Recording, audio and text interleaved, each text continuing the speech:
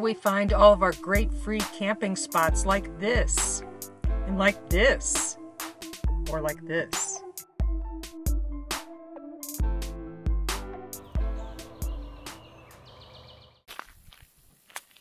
All right, so I am going to talk about the top ways that I find all of these great camping spots that are free. All right, so first is apps. What did we do before we had apps? It makes it so much simpler. First of all, I have a series of apps that I go through, and we have a route that we want to see some things, or we have a planned kind of area that we want to be in because of weather or climate or, you know, like I said, stuff to see. And we look in that area by using apps. And the first, I'm going to go through the apps that I use, order of importance. First ones that I use is freecamping.net, and then I will go down from there. I have Free Roam, iOverlander. If I don't find anything beyond that in those areas that I want to be in, I will go into into other apps like Boondocking, Free Roam, the Dyrt, Campendium, All Stays, Trucker Path. There's there's lots of different apps, but uh, and then I also have one Pay One USFS BLM app, and uh, it was only 99 cents. occasionally I find something on there that's not on the other ones, but like I said, order importance if I don't find anything. And what I'll do is I'll go inside of the app and then I will read about it, and I will copy and paste the um, the, court, the GPS coordinates into Google Maps. I will zoom in on it and look to see what it looks like, to see what the possibilities are, see if I can tell what the road looks like, and uh, see how many spots there are. And I can mark it and save it and then I will get several different choices in the areas that we want to go to. So, in case the first one doesn't work out, you have other choices. And I almost always need other choices because sometimes I've gotten to a spot and it's just like pure sand or, you know, I don't even know why it's marked, that kind of thing. Those are the, the main ways that I find free camping spots after using apps, if I don't find something that I need in the areas that I want, I would say 25% of the time, the spots that I find are by just driving around. Uh, I drive slow, I look around uh, outside of conservation areas or in conservation areas, wildlife areas, usually around that, uh, national forests. Um, when it's a national park, there's usually camp free camping right outside of the park.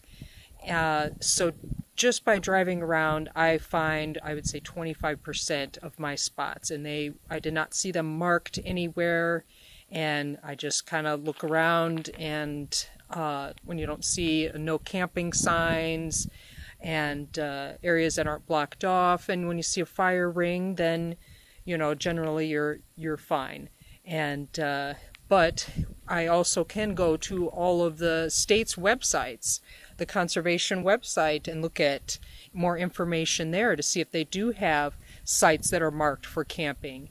And the time and length and all that kind of stuff will be marked and different. Most of them are 14 days, some are only 10. You know, it, it just differs. And uh, just don't push your luck, you know, just don't stay too long. Um, I've stayed at spots that I wasn't really sure if you could camp at that weren't marked, but didn't say you could. I'd stay there for just a short time and then move on, or then, you know, leave temporarily and then come back or park differently or something like that, just not to draw attention if you're not sure if it's a spot. But I have actually never had an issue. I've never been told to move. I've never had a dreaded knock in the night. And uh, I just kind of try to stay under the radar more. There's also city parks and county parks that you can look for. Uh, this list doesn't include like truck stops, Walmarts, you know, Cracker Barrels, that general kind of parking lot kind of stuff. All right, like I said about going to states' websites, the government websites, looking at uh, information, their conservation areas or wildlife management areas to see if there's uh, possibilities to camp in there.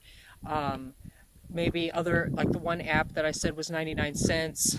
Um, there's other uh, maps where you can put the BLM land uh, filter over the top so you can see that you're on Bureau of Land Management land and not public land or I mean private land or something like that in an area that you're not sure. Um, there's so there's those ways of finding a, a free camp spot. And like I said, I will mark the places on my Google Maps and I have multiple uh, choices that I can drive by and look to make sure, see if it's anything. You can also sometimes, if it's a larger road, you can see the street view and see what it looks like in that area. My map, uh, it started to get pretty full of different little marks, so I started to color coordinate uh, where I have stuff. I mark water sometimes, places that I want to go. So when I'm driving, I can just hit that location instead of researching it if it's a grocery store or water station.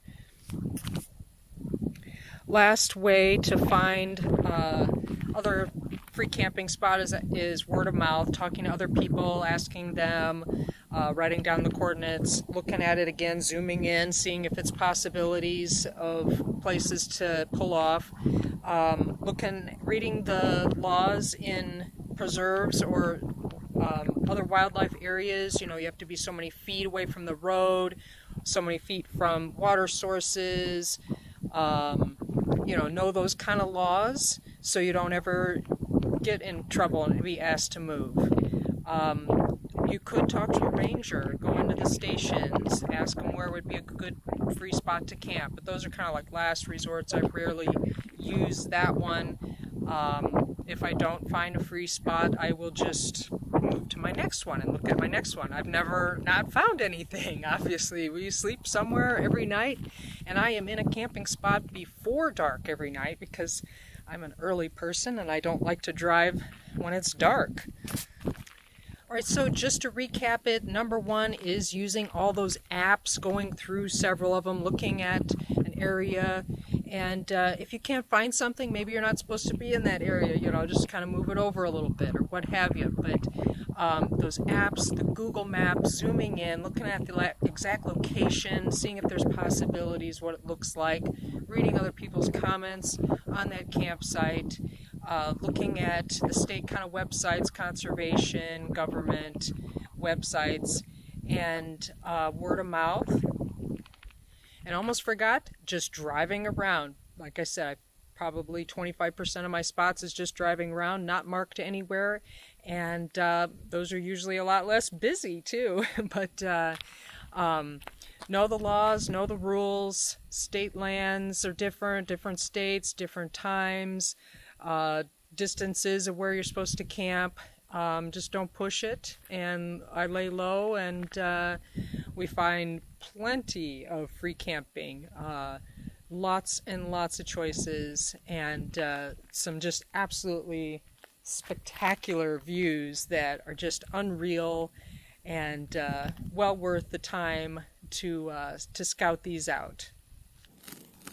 All right, thanks for watching and make sure to hit that like button and subscribe if you haven't done so already.